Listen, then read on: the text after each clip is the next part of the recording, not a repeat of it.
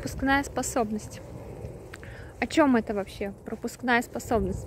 Это про то, что вот я сейчас иду, считаю, пытаюсь понять, сколько лет я изучала тему э, мира, международных каких-то штук, э, вообще знакомилась с миром. У меня висела карта перед столом достаточно долго, кстати, где-то, ну, условно там с лет 20.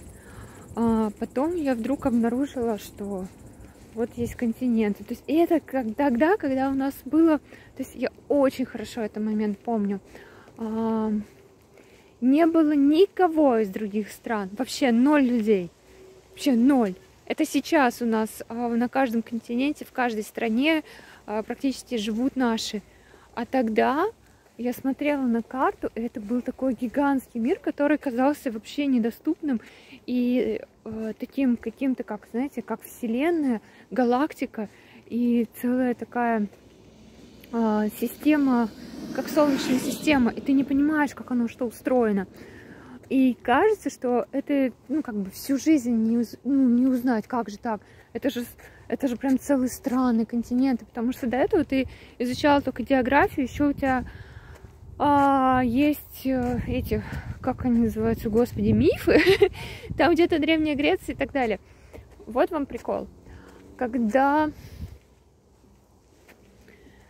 мне было, боже, 30 чем-то лет, в смысле недавно, вот, то я узнала, что в Египте не говорят на египетском.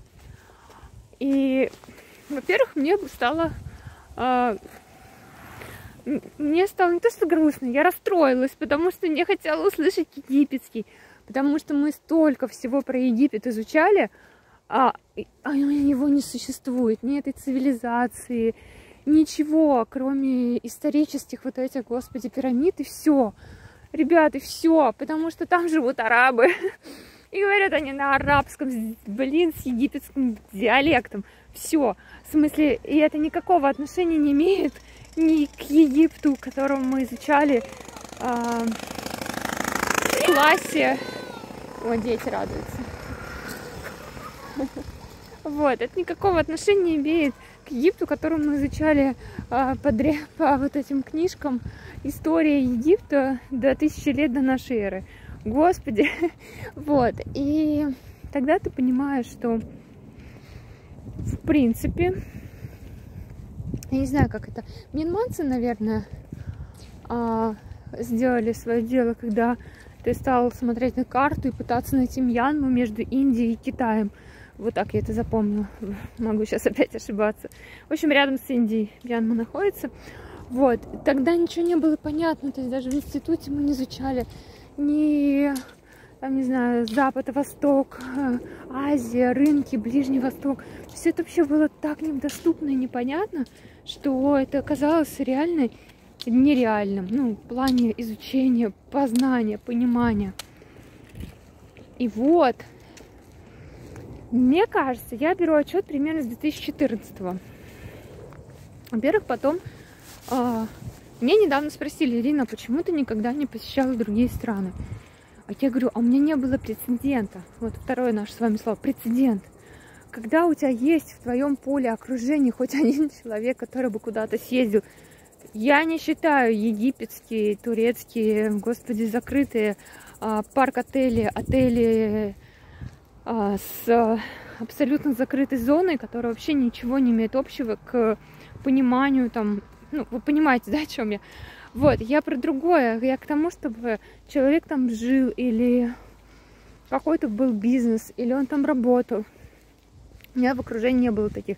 Я до 20, вот опять пытаюсь посчитать, 6-7 лет, 27, ну, короче, посчитайте там, в какой-то момент всю жизнь я ездила в деревню, там сажала картошку, пасла коз, овец, точнее, и коров, прям стада, э, пахала там поля, собирала сено, вот, и так далее, и так далее. То есть моя жизнь, она очерчивалась двумя городами.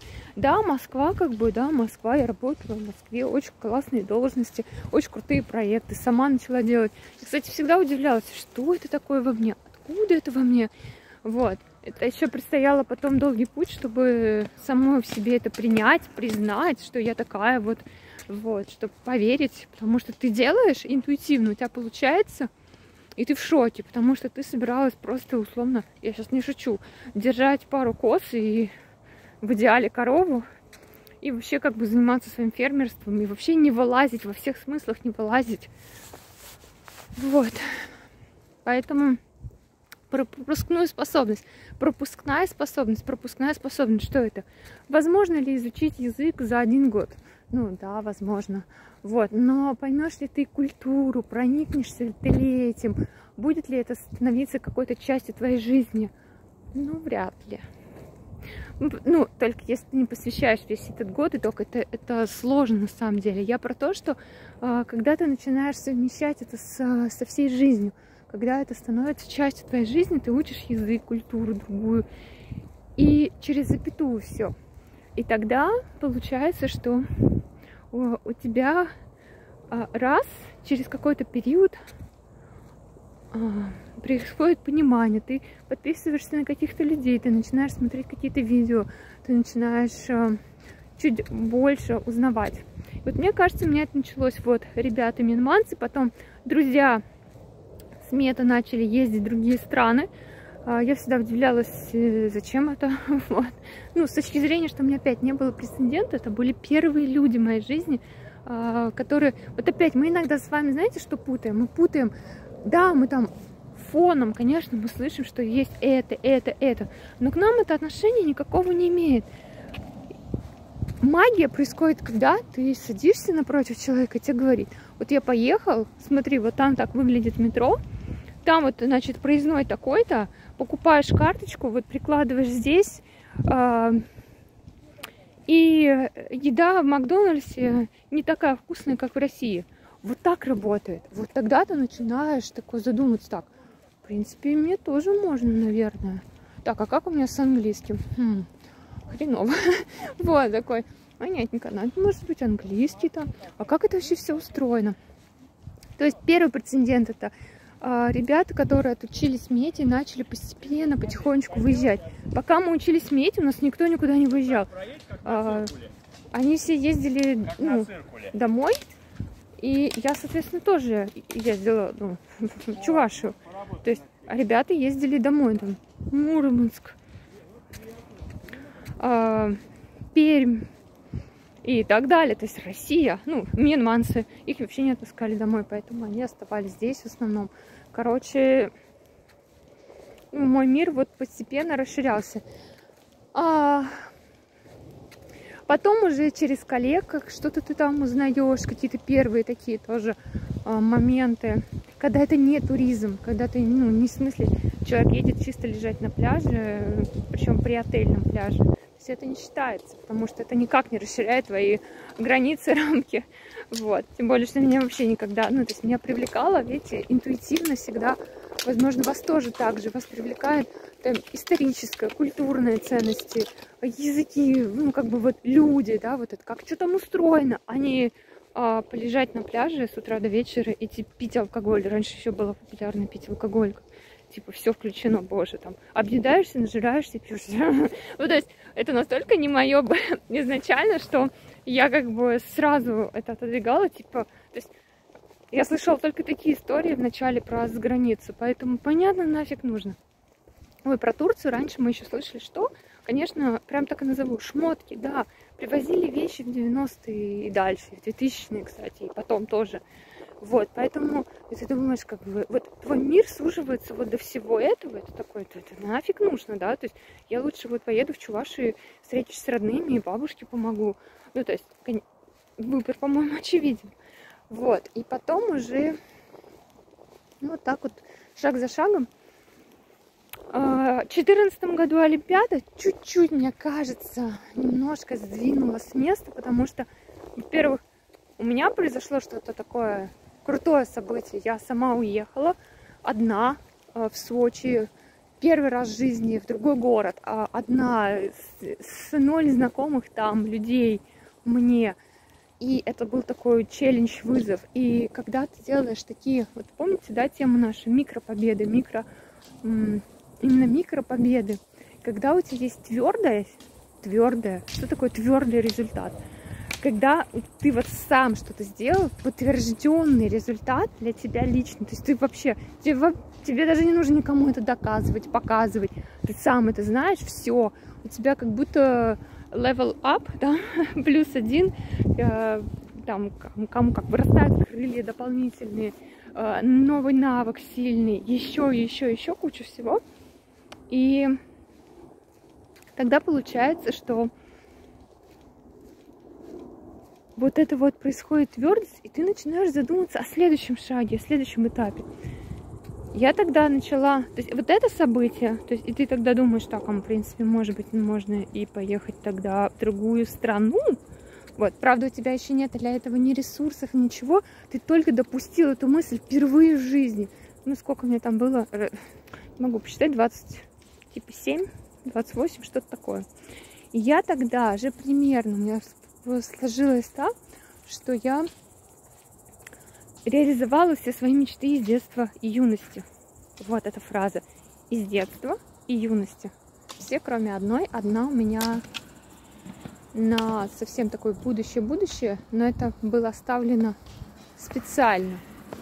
Потому что там какая-то ну, мега подготовка. Это связано с Камчаткой.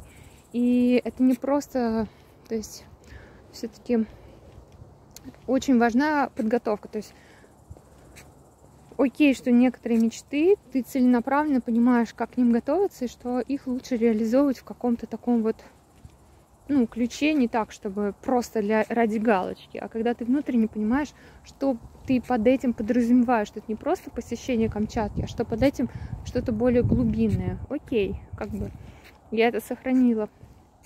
Остальные я все реализовала. И тогда у тебя встает вопрос, так, э, ну, как бы предполагалось, что это, во-первых, никогда не реализуется, если реализуется то типа в конце жизни или в течение всей жизни, точнее. А так как, э, типа, тебе уже два, ну, тебе только там 27, ты такой, ну, чувствуешь себя мега молодым и а, типа все сделал, а что дальше? И вот дальше как раз э, по всем упражнениям ты начинаешь, ну да, типа 100 целей, мечт, выискивать их. Я захотела изучать языки, но к тому моменту я была уверена твердо, что я, точнее, я уже начала себе разрешать, что, возможно, я все-таки талантлива, потому что, забегая вперед, мы все талантливы, вот, что, возможно, дело в системе, возможно, дело в языке, я про английский. Короче, я не ошибалась, и это было, наверное, одно из самых крутых решений, когда я, я начала постепенно подбирать себе новый язык для изучения по своей методике, а, что я буду учиться, когда хочу, как хочу, каким образом хочу. В общем, абсолютно исходя из удовольствия и своих желаний, предпочтений и так далее. И это сыграло ту самую ключевую роль, когда все получилось. Все получилось. Вот взяло и получилось. В общем, итальянский. А в итоге это стал итальянский язык методов переборов, проб, всевозможных языков, это стал итальянский, и он мне открыл что-то невероятное. Изучение языков открывает для нас новое пространство, новую культуру. И опять что? Твердость, твердость. Ты получаешь твердый результат, ты начинаешь говорить на другом языке, ты начинаешь э, э, допускать новые мечты, что-то вроде я же могу пойти обучиться туда, я же могу кулинарные курсы там закончить, а я же могу группу отвести туда, я же могу, да я вообще столько всего, это же абсолютно новый мир. Тогда на тот этап, момент у меня мир, э, значит, граница подвинулась, то есть тут была Россия, Мьянма и появилась Италия. Такие вот, такая у меня карта нарисовалась первая часть. Сейчас запишу вторую.